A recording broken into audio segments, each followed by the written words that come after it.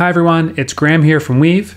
In this video, I'm going to show you how to send funds from your cryptocurrency exchange like Binance or Coinbase to your MetaMask wallet. So I want to use my MetaMask wallet to fund some DeFi projects like Weave, and I'll need to fill it with funds first. One thing to note here, when making transactions on a blockchain using your MetaMask or another Web3 based wallet, you have to pay network fees to process the transactions each blockchain has their own cryptocurrency that is used to process transaction fees, and those fees can change based on the congestion on that network. If I were using the Ethereum blockchain, I'd pay my fees in Ethereum. If I was using Polygon, I would use Matic.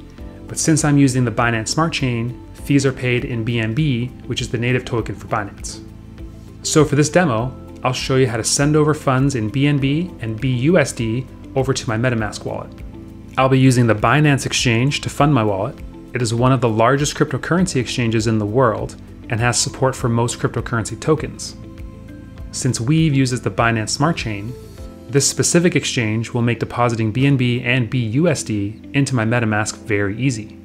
You can use your Coinbase or other cryptocurrency exchanges to fund your MetaMask. The withdrawal process will be very similar between them all, just slightly different user interfaces and different supported networks. If you have not set up an exchange account, you will need to do this in advance. It is a fairly easy process of creating an account and going through a KYC process. KYC means Know Your Customer. It's a common practice used by most exchanges for compliance and anti money laundering screening. You will need to confirm your identity by providing a proof of residency, using a utility bill or a driver's license. The account creation process will walk you through those necessary steps. Each country has different regulatory requirements, and not all exchanges work everywhere. Binance and Coinbase will likely be available in your region, and you'll be able to convert real world government issued currencies like pounds, euros, or dollars, uh, known as fiat currencies, into cryptocurrencies. But do make sure your country is supported before starting with these platforms. Okay, so I have my Binance Exchange account set up with some BNB and BUSD in it. I'll hover over Wallet and tap on Fiat and Spot to access my account holdings. You can see I have some BUSD and BNB here. If you don't have these currencies, you can buy them with fiat or exchange whatever cryptocurrency you are using in the trade section. We'll start with BNB. I'll tap on withdraw. The BNB coin is selected I will withdraw to a new address. Here I need to enter the address for my MetaMask wallet. So I'll open up MetaMask. Make sure you are on the Binance Smart Chain, which I am. And I'll tap the account name and copy my wallet address.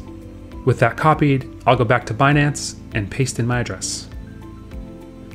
I'll confirm the network is using the Binance Smart Chain, BEP20, it's very important that you are withdrawing your tokens on the same blockchain as your receiving wallet. The Binance Smart Chain is the network that I want to receive my tokens on in MetaMask, so this is all correct. You'll see a small fee here of 0.0005 BNB, which is equivalent to about 29 cents right now. I'll double confirm that the network I'm using is the Binance Smart Chain. Tap yes, I am sure here, you may see an indication that the network is congested.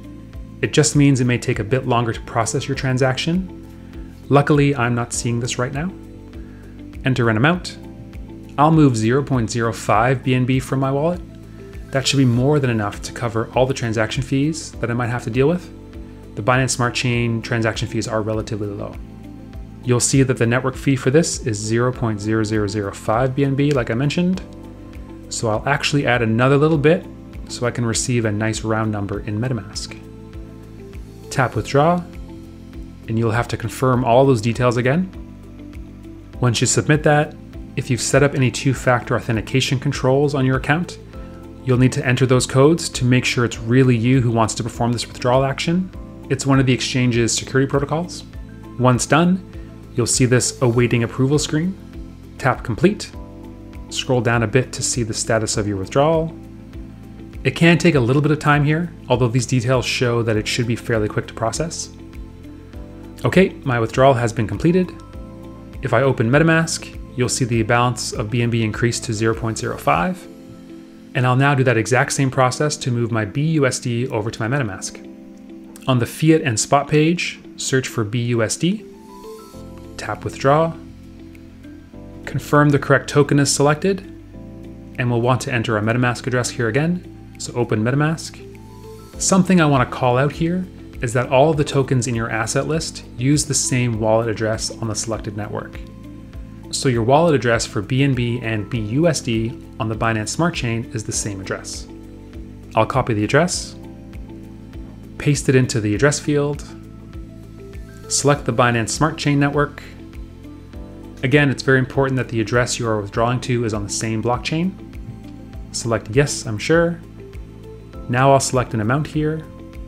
I'll choose 150 BUSD.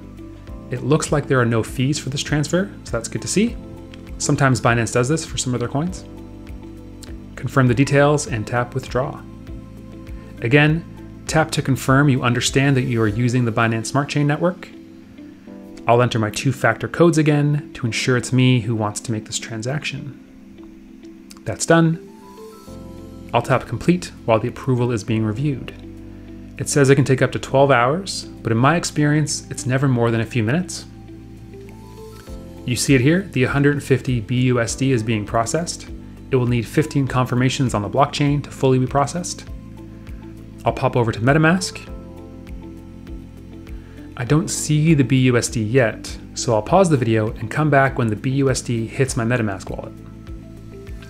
Okay, this is now finished and I now have 150 BUSD in my MetaMask wallet. Now, there is a chance that the transaction failed for you if the network was too busy.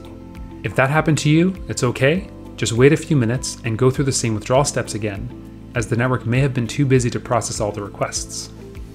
So I now have both BNB and BUSD in my MetaMask wallet ready to be used for my next DeFi project. Check the description below for links to other helpful videos and resources from the team here at Weave. And be sure to take a peek at the Weave platform, where you can easily copy experienced yield farmers and earn staking rewards in cryptocurrencies. Thanks for watching, and bye for now.